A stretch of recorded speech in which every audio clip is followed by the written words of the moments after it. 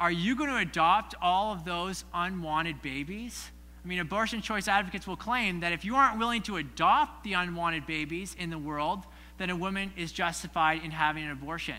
Uh, you guys know Donald Miller?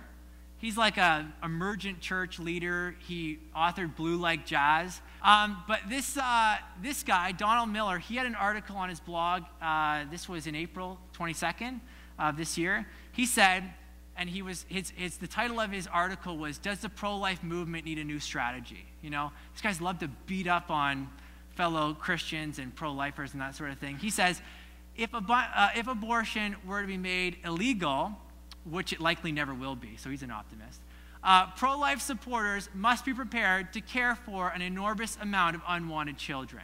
Okay? That's the argument. So how do we respond?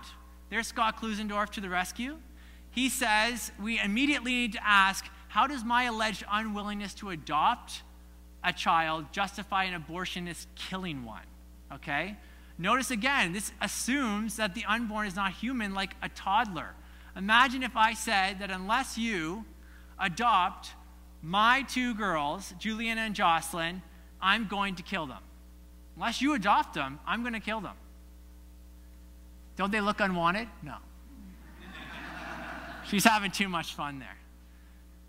No one would accept that. You know, imagine I said, uh, unless you're going to marry my wife, then I can, I can beat her. You know, that sort of thing. That would, that would make no sense uh, at all. That, they're assuming that the unborn is not human like a toddler. Second, the argument again is an ad hominem attack. Instead of dealing with our science, our philosophy, our theology, they simply ignore it and they change the subject. Okay? And so, uh, third, there are many, many, many, many, many, many people who are willing to adopt unwanted children. And this rarely gets talked about. Some researchers suggest that there are up to 36 couples, and that's 36 couples up there, waiting to adopt one baby. In fact, I was at Huron uh, a few weeks ago, and I was talking with an old teacher that I had when I went there, and uh, he actually adopted two children from Russia. Uh, Russia or Siberia? Anyways, he, and he said that he's been waiting years to get these children. He's paid over a $100,000. That's how badly he wants children.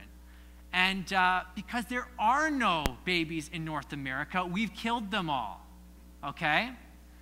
And so it's, uh, it's, it's very sad. And those are the figures. So if someone says, Are you going to adopt them? I mean, sure. But the reality is, I don't need to.